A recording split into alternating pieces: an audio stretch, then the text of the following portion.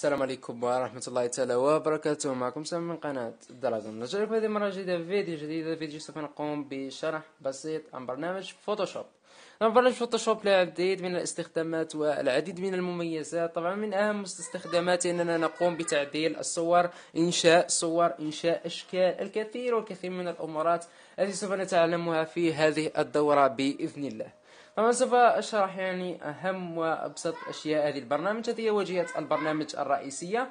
طبعا عندنا هذه الأول أيقونات من هنا. هذه أدوات برنامج فوتوشوب سوف أشرح لكم أهمها. طبعا عندنا هذه ال selection أداة selection وتقوم يعني بزحزحة الأشياء وتحريك الأشياء.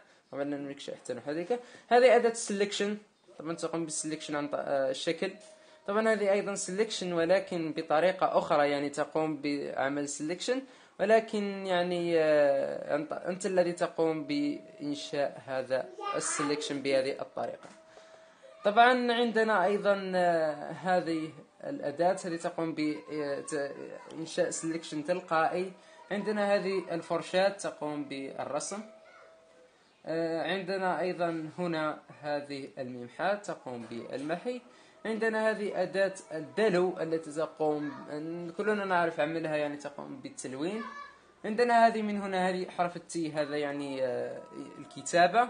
هذا يعني آه، لا يعمل شيء طبعا يقوم فقط بماوس هذه إنشاء الأشكال طبعا مثلا تنشئ مربع. طبعا يمكنك آه، من هنا تغيير إعدادات سنتكلم عنه. طبعا هذه من هنا الألوان الأساسية بالبرنامج. عندنا طبعا يمكن التغيير بين لونين. المهم طبعا من هنا عندنا هذه القائمة من هنا من الفوق. طبعا هذه القائمة تقوم بالتغير على حسب الأداة التي نستخدمها. طبعا لكل أدوات خصائص خصائص أي أداة نجدها هنا. مثلا خصائص شكل مربع. سوف نقوم بمثلا يعني الفيل الخاص به نجعله مثلا لونه أصفر. ها؟ تغير لونه إلى الأصفر. الستروك مثلا يعني الإطار مثلا هو أسود. نقوم مثلا بحجم الإطار من هنا هو سوف يكبر. ها هاو كبر الإطار. طبعا هذه فقط يعني لكل أداة يعني مميزاتها الخاصة بها. هذه من هنا طبقات أو ال layers الطبقات الخاصة بهذا النموذج.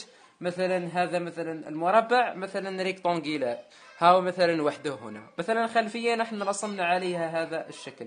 إذا نضغط على الخلفية يمكنني أن أتلاعب بهذا الشكل. أضغط على rectangular يمكنني أن ألعب بهذا المستطيل. طبعا هذا هو برنامج فوتوشوب بكل بساطة. طبعا إن فهمت موضوع الطبقات يعني أنت فهمت برنامج فوتوشوب هذا هو بكل بساطة. طبعا عندنا هذه من هنا يعني قوائم ملف تحرير الصور طبعا سوف أريكم يعني في كل ما أشرح أكثر أريكم يعني آه، أوضح لكم حول أداة أكثر.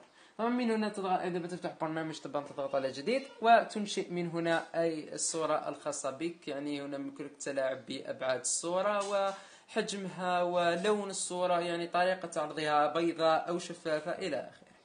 طبعا بالنسبة للخلفية ال background هذه الأولى. طبعا من هنا عندما تضغط على فتح يعني تقوم بفتح الملفات. بطبيعة الحال طبعا هاي تفتح لك ملفاتك التي هي الصور التي يريد التعديل عليها. هذا هو بكل بساطة برنامج فوتوشوب برنامج خفيف سهل بسيط.